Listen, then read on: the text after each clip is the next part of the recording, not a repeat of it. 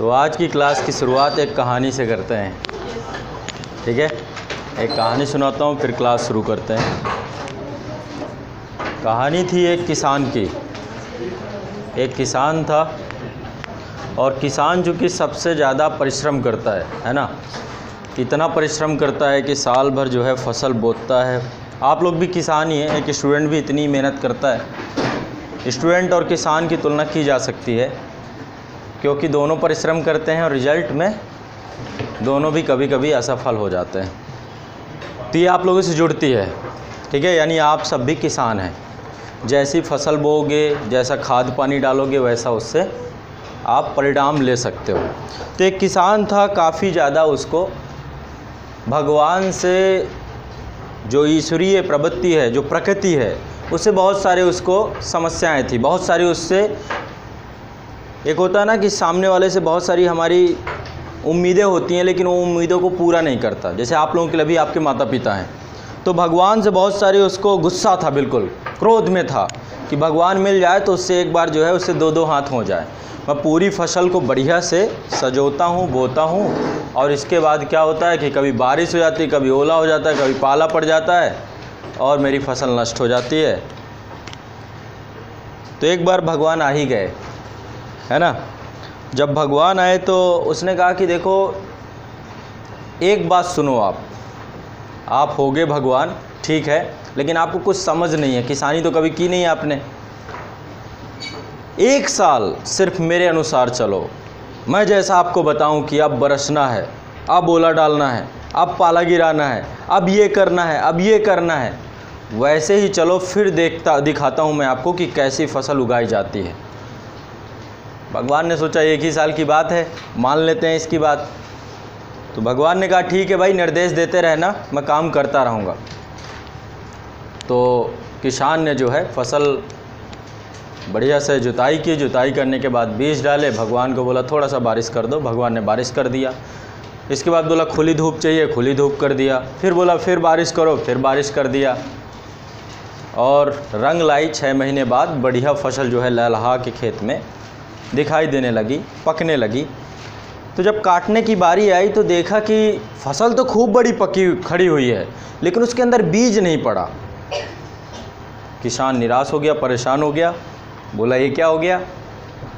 तो भगवान ने उसे समझाया कि तुमने जो ये फ़सल है, इसको सुकुमार बना दिया। इसके अनुसार चले तुम। कभी इसको विपरीत परिस्थितियों से सहने ही नहीं दिया। मैं हमेशा क्या करता हूँ? फ़सल को ऐसा बना देता हूँ कि कैसी भी विपरीत परिस्थिति आ जाए, वो लड़ सके। मैं उसे ओले से भी, पाले से भी, धूप से भी, सूखा से भी, हर तरीके की परिस्थितियों से लेके चलता हूँ, तब उसमें जाकर के बीज पड़ता है। तुमने उसी के अकॉर्डिंग किया, आज ये सुकुमार बन गया, इसमें बीज तक नहीं आया। तो हमारे साथ जो घटनाएँ घटती हैं आम तौर पे, देखते हैं कभी आर्थिक तंगी चली जाती है, कभी हम बीमार हो जाते हैं, कभी मानसिक तौर पर अस्वस्थ हो जाते हैं, ये सब हमें मज़बूत बनाने के लिए है। यदि हम ये समझ जाएँ, प्रकृति का पूरा खेल है। प्रकृति ने यहाँ तक खेल किया है कि इस व्यक्ति को कहाँ उतारा जाए। पूरा षड्यंत्र रचा गया है आपके जीवन के पीछे। आपको यदि गरीब परिवार में उतारा गया, आपके घर पे आर्थिक तंगी है तो ये आपके लिए बहुत बड़ी सौभाग्य की बात है। क्यों? क्योंकि ईश्वर को पता है कि इस पर्सन के पास कुछ ना कुछ बात है। वो दब जाती है, आप समझ नहीं पाते हैं। ये कुछ ना कुछ कर जाएगा। ये कुछ ना कुछ जाकर हिस्टोरिक लिख सकता है। यदि ये इन बातों को समझ जाए तो तभी हो पाएगा। तो फाइनली आपके पास जो भी परिस्थितियाँ आती हैं, आप जिस कंडीशन से भी गुजरते हो, ये एक षडयंत्र है, ईश्वर का। ठीक है? जिसे भी आप मानते हो। और वो षडयंत्र आपको मज़बूत बनाने का है। इतना मज़बूत बना देने का है कि आप हर परिस्थिति में अपने आप को उभार करके सामने ला पाओ। ये नहीं है कि आपको सुकुमार बना के रखा जाए। आपको जो चाहिए वो मिलता रहे, तब तो आप कुछ भी नहीं कर पाओगे।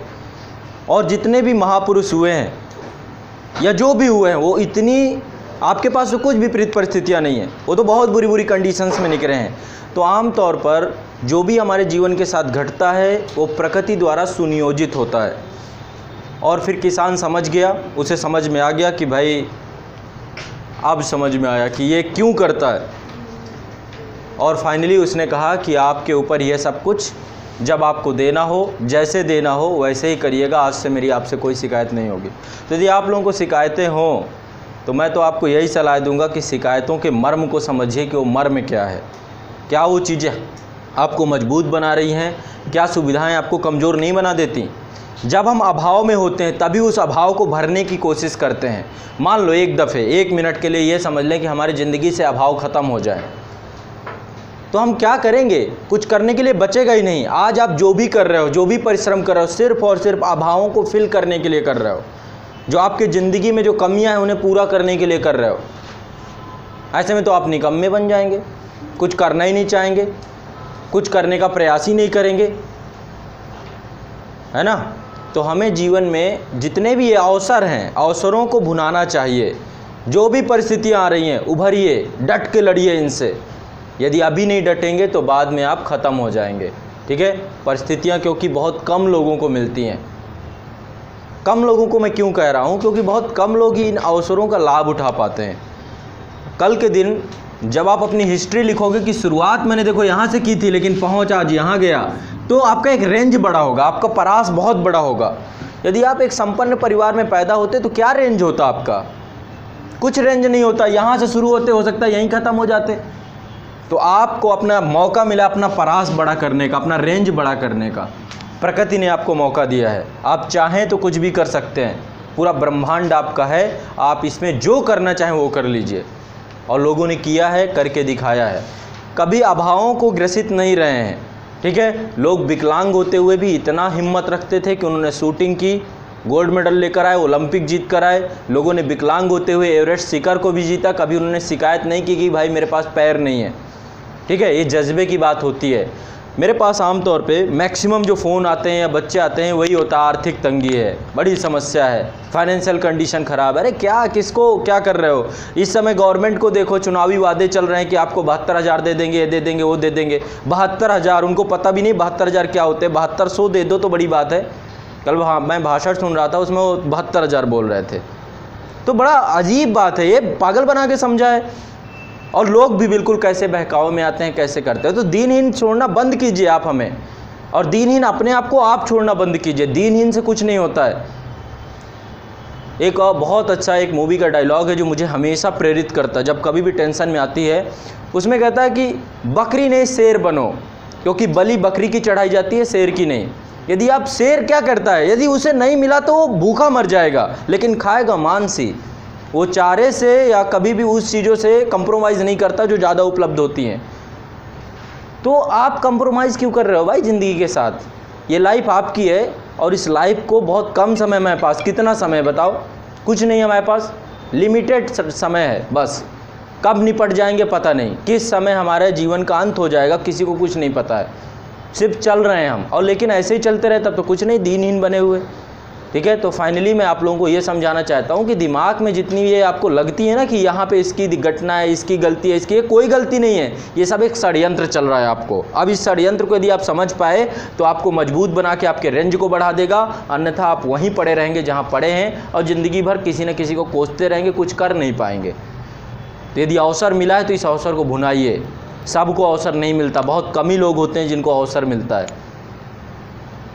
ठीक है? चलिए अपने विषय वस्तु को शुरू करते हैं।